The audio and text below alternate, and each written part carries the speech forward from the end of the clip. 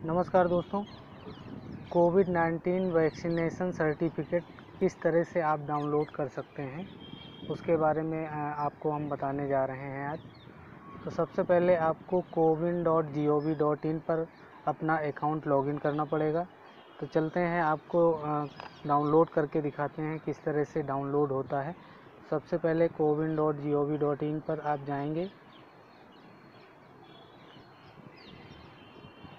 दिन ब दिन CoWIN dot G O V dot in पर नए नए फीचर ऐड होते जा रहे हैं और ये बहुत ही अच्छा है। ये सिस्टम बहुत ही अच्छा है। भारत सरकार ने जो ये अपनाया है, डिजिटल प्लेटफॉर्म का इस्तेमाल किया है इसमें। तो जैसे कि सर्टिफिकेट डाउनलोड करने का ऑप्शन आ गया, पहले नहीं था। तो अगर आपको कहीं ज़रूरत पड़ती है तो आप डाउनलोड कर सकते हैं और आप अपना प्रूफ दिखा सकते हैं कि हमने वैक्सीन ले ली है।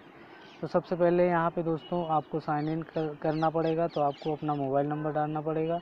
उसके बाद में आपके मोबाइल नंबर पे एक ओटीपी आएगा। ओटीपी डालेंगे आपका अकाउंट लॉगिन हो जाएगा। तो चलिए आपको हम लॉगिन करके दिखाते हैं।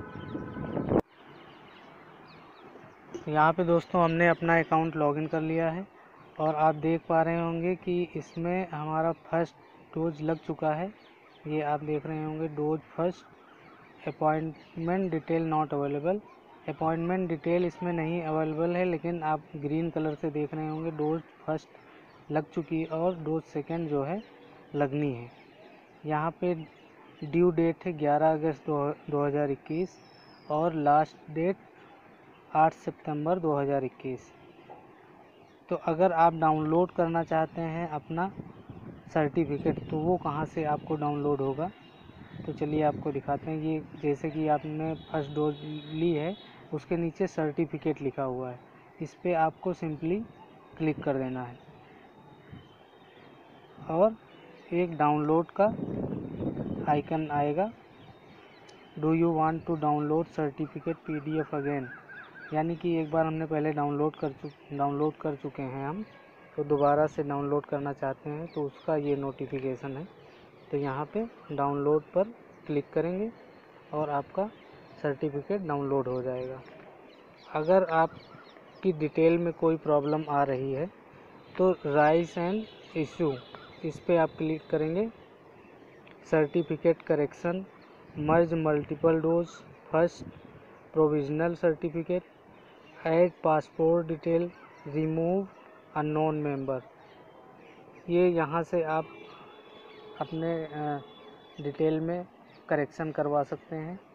तो इसमें अगर आपको यानी सर्टिफिकेट में आपके नाम गलत है या कोई प्रॉब्लम है या पासपोर्ट डिटेल आप ऐड करवाना चाहते हैं तो जैसे कि सर्टिफिकेट प्रोवाइड करवाया गया है तो हो सकता है जैसे कि बाहर की यात्रा करने वाले लोगों को इसकी ज़रूरत पड़ती हो तो उसमें पासपोर्ट की डिटेल ऐड करवा करवाना हो तो आप यहाँ से ऐड करवा सकते हैं। तो दोस्तों, हमारा जो है, ये सर्टिफिकेट डाउनलोड हो चुका है। तो उसको हम आपको दिखाते हैं। ये हमारा सर्टिफिकेट है, जो कि डाउनलोड हो चुका है। कुछ इस तरह से आपको दिखाई देगा। उसमें सारी डिटेल आपको शो होंगी। क्या नाम है आपका, उम्र कितनी है, जेंडर क्या है, और आपकी आईडी कौन सी आईडी इसमें इस्तेमाल की गई है। और बेनिफिशरी रेफरेंस आईडी है। कौन सा वैक्सीन आपको लगा है कौन सी कंपनी का, क्या नाम है उसका, और किस डेट में आपको लगा है, और अगला आपको कब लगेगा, उसकी भी डेट इसमें मेंशन होगी। टीका आपको किसने लगवा, लगाया था, उसका क्या नाम है, किस जगह पे आपको लगा था, उसकी डिटेल इसमें शो हो रही है। तो सारी डिटेल इसमें शो हो रही हैं। और हमारा जो है सेकेंड डोज कब लगेगा, उसकी भी डिटेल इसमें आपको लॉगिन करेंगे तो मिल जाएगा। और एक चीज़, इसमें अभी हमारा थर्टी सेवन डेज़ लेफ़्ट है, यानी कि सैंतीस दिन बाद हम जो है दूसरा डोज लगवा सकते हैं। तो दोस्तों, ये कोविन पोर्टल पे ये बहुत ही अच्छी शुरुआत रही है भारत सरकार की। अगर इस तरह की शुरुआत नहीं करता तो वैक्सीन लगाने में बहुत सारी समस्याएँ आ सकती थी। जैसे कि सबसे पहले डॉक्टरों को वैक्सीन दी गई है उसके बाद में फ्रंट लाइन वर्कर्स थे, उनको दी गई है। तो भारत सरकार के पास में जो भी डेटा अवेलेबल था, उस हिसाब से उन्होंने वैक्सीन लगाई और ये बहुत ही सक्सेसफुल रहा।